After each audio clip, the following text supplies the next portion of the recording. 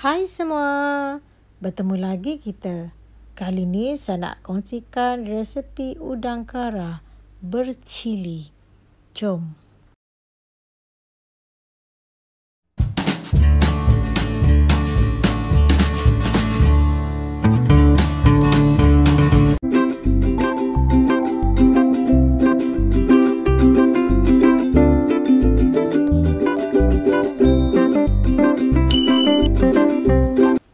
Okey, bahan utama dia adalah udang kara ataupun kita panggil lobster. Untuk resepi ini kita perlukan 3 ekor udang kara yang telah dibersihkan. Okey, seterusnya kita perlukan cili kering. Okey, mula-mula kita potong dulu cili kering ni dengan menggunakan gunting.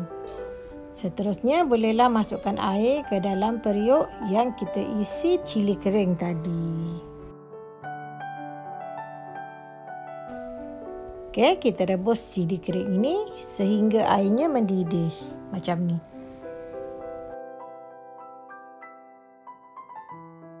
Seterusnya masukkan cili ke dalam blender bersama dengan bawang merah, bawang putih dan juga halia.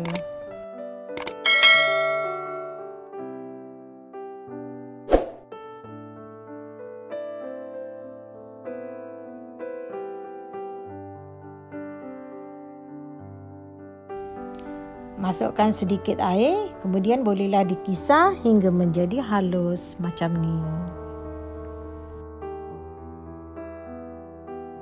Seterusnya bolehlah masukkan minyak ke dalam kuali, panaskan sekejap dan kemudian bolehlah tumis bahan-bahan yang telah dikisar tadi.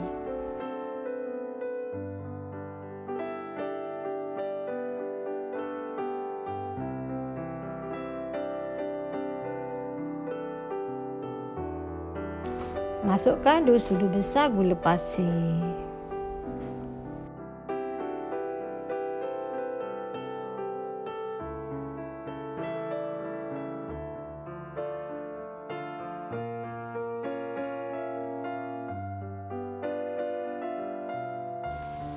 Okey, ini asam jawa yang saya gunakan iaitu asam jawa ekstra dari Adabi.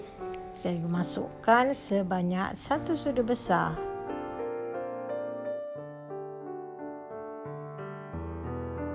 Bila dah nampak bahan-bahan ni agak kering, bolehlah masukkan lobster.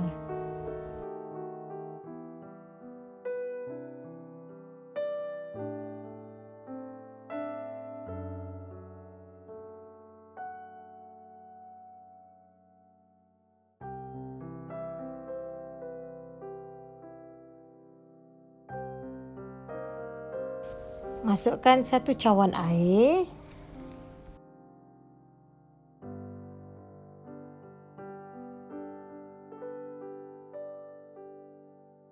Kacau-kacau sekejap, kemudian bolehlah ditutup.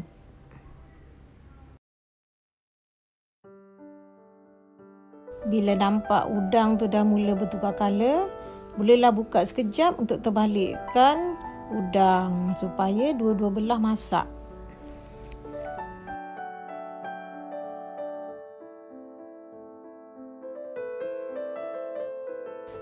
Kemudian uh, bila dah terbalikkan tu bolehlah tutup balik penutup uh, kuali tu supaya udang ni kita nak dia masak sekata. Uh. Okey, tada! Nampak tak? Uh, udang telah pun bertukar color menjadi warna merah.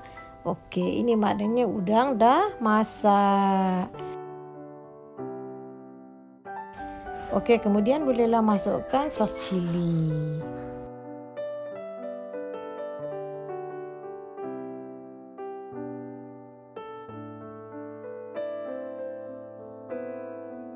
Okey, yang terakhir sekali bolehlah letakkan sedikit garam.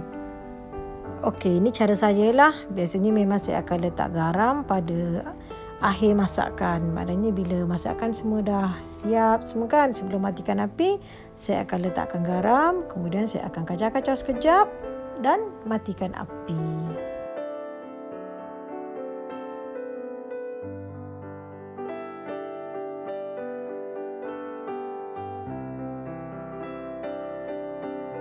Dah siap pun resepi udang kara bercili. Ha, macam mana? Nampak sedap tak? Ah, inilah dia. Yummy. Jom kita tengok pula isi udang kara ni. Ah, tengok tu. Okey, kepala dia besar.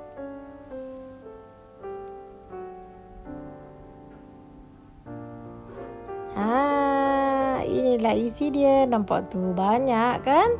Selamat mencuba. Jemputlah subscribe dan tekan loceng notification untuk mendapatkan video-video dari saya selepas ini. Semoga kita berjumpa lagi. Bye.